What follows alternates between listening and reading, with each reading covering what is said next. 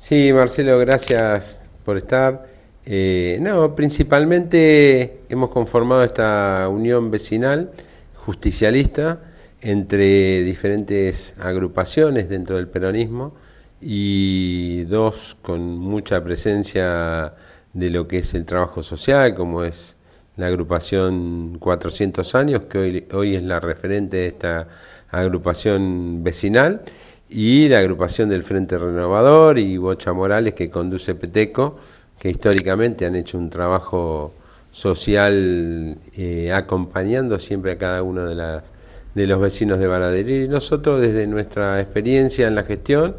eh, y el trabajo con todos los, los militantes y los, los compañeros que conforman cada uno de los espacios, estamos diseñando una alternativa de gobierno que a partir del 10 de diciembre ojalá que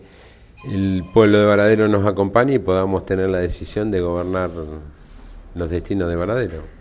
Eh, Peteco, bueno, eh, trabajando ya como, como lo dijiste en la presentación, hace varios años en, la función pública y conociendo los barrios, vienen desde ahí ahora, digo, de recorrer barrios, de charlar con vecinos, de escuchar la problemática de los vecinos. Eh, contanos también, bueno, que, digo, el trabajo es diario el tuyo, eh, digo, pero ¿qué, es en esta recorrida última, qué, qué es lo que te llevas, no? Sí, como decía Leo, eh, es una agrupación donde estamos todos juntos en la agrupación 400 años y, marcar lo que Leo decía, pero sí, recorremos, vos sabés que nosotros tengamos año electoral o no, durante todos los años hemos trabajado siempre cerca de la gente y hemos estado presentes en todos los barrios. Lo que tenemos grandes problemas donde hoy por hoy no se puede resolver, el gran problema, punto número uno, mejorar la salud pública mejorar lo que es eh, toda la seguridad, que es el gran problema de la seguridad, trabajo y sobre todas las cosas buscar la forma de ver cómo resolvemos el gran problema, la demanda social,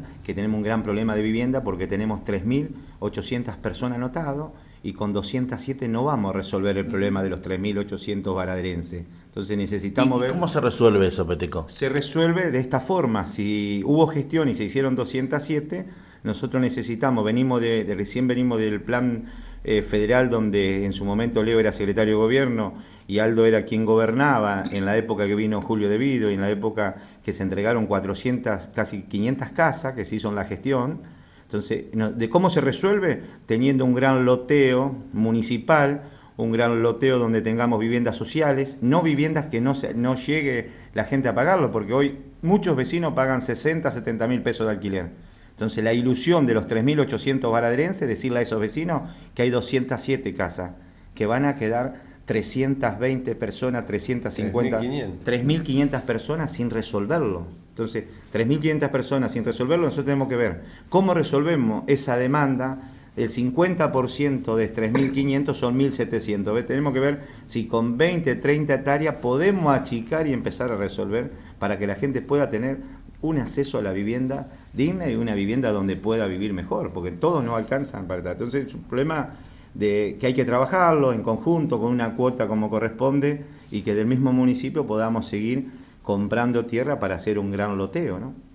Eh, Leo, ¿cómo, ¿cómo, se llega? Eh, porque, a ver, eh, estuviste en la gestión y, durante un montón de, tiempo se habló de, varias cuestiones que tienen que ver, entre, otras, entre estas cosas, eh, con esto que sea Peteco. ¿Por qué crees que no se llega hoy a, a ese, a ese loteo grande y donde tal vez la gente pueda pagar la cuota? Bueno, lo hemos hecho en su momento cuando estaban todas las tierras del plan federal y se decidió que ahí existan casi 500 casas eh, de acceso a través del plan federal, que eran cuotas accesibles para la familia y que tuvieron la posibilidad de crecer y hoy, después de tanto tiempo, es un barrio que ha crecido y que se han dado las condiciones. Lo que hay que eh, buscar son tierras para adquirir. El año pasado, el anteaño, en el 2020 fue,